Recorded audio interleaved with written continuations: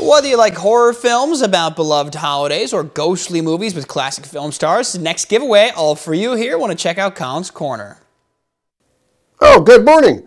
Well, this week we've got a new movie coming out from Sony. It's the new holiday horror classic Thanksgiving, which is uh, director Eli Roth made a fake trailer in 2007 for this, and finally he persuaded a studio to give him some cash to make a slasher movie set on the only holiday that didn't already have one. A deadly Black Friday incident inspires an axe wielding killer to hunt down the college friends believed to have incited the tragedy, and all sorts of old school splattery mayhem ensue. Show some enthusiasm. Thanksgiving is an institution here.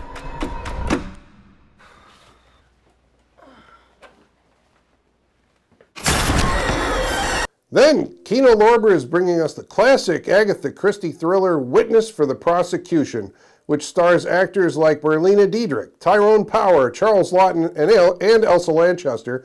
And it's about a man being tried for a wealthy woman's murder, but his alibi depends on his wife's testimony, and she has agreed to appear in court against him. Tyrone Power, in love with a woman who holds his life in her beautiful hands.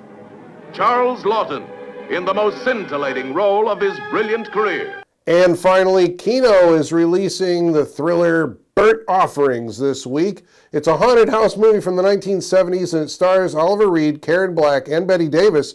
And they're a family who rent a mansion for the summer. I mean, as you do. Who among us hasn't wanted to trade city life for a summer vacation in a countryside Gothic mansion? Of course, this movie is a warning against that sort of thing because as soon as they move in, they're beset by all sorts of strange happenings. They thought it was the answer to their dreams, but it was the beginning of a nightmare. In order to win one of these movies, all you got to do is jump on over to our website, that's mystateline.com, and register on that contest page. Well, some soccer fans.